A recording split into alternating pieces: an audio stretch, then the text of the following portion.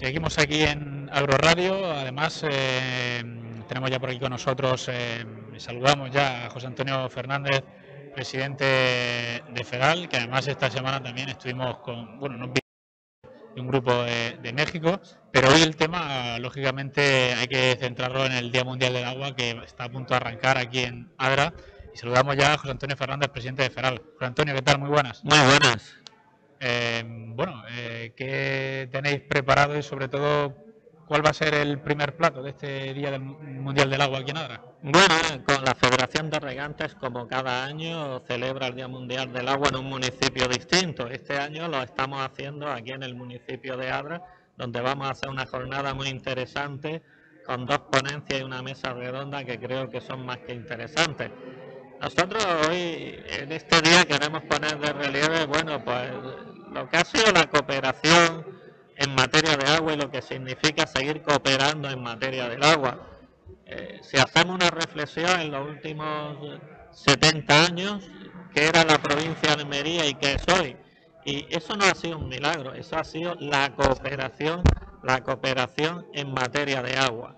El cooperar entre las distintas administraciones y los regantes, las comunidades de regantes, cooperar entre comunidades regantes, eh, entre una y otra, entre las distintas masas de agua, entre todos en general, ha llevado a la provincia de Almería a doblar su población.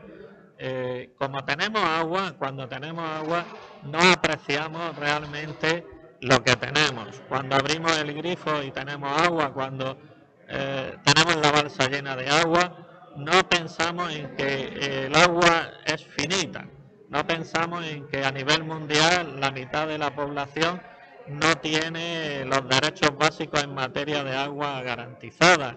Eh, por eso hay que reflexionar en este día y pensar en, qué, es el agua, qué significa el agua para una comunidad, para una región, para la provincia de Almería. Y lógicamente en eso estamos hoy, intentando poner el granito de arena en que mentalizar a la población y a todos los regantes pues, del buen uso del agua, que desde luego sabemos que lo hace. Eh, sobre todo, ¿cuál es el principal objetivo de, de un día como el de hoy, además de concienciar a la población del buen uso del agua? Bueno, un día como hoy nosotros tenemos que reivindicar nuestro déficit hídrico, garantizar nuestro nuestro agua, nuestra necesidad de agua para la provincia. Pues muchas gracias José Antonio Fernández, presidente de Feral, por atendernos aquí en Aeroradio. Eh, nos vamos ya para... para muchas gracias a vosotros.